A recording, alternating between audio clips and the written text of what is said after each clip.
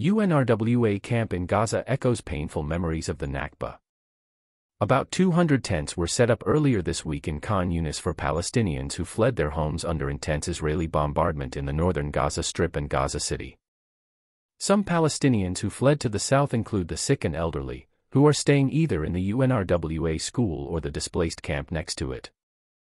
Asma al-Ustaz, left, sits with her family outside the newly erected tent in the Khan Yunis industrial area in the southern Gaza Strip.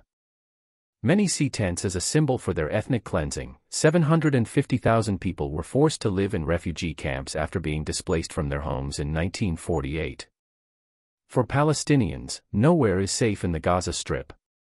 According to OCHA, at least 25% of residential buildings and homes have been destroyed in Israeli bombings during the past two weeks. Children said the tents are too hot and spend most of the day playing outside.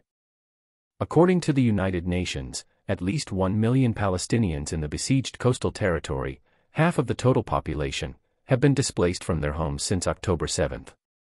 There is no electricity, water, or internet in the new camp in Khan Yunis.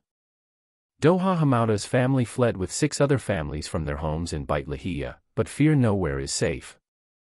Israeli forces issued an order for the 1.1 million residents in the northern half of the Gaza Strip to evacuate their homes.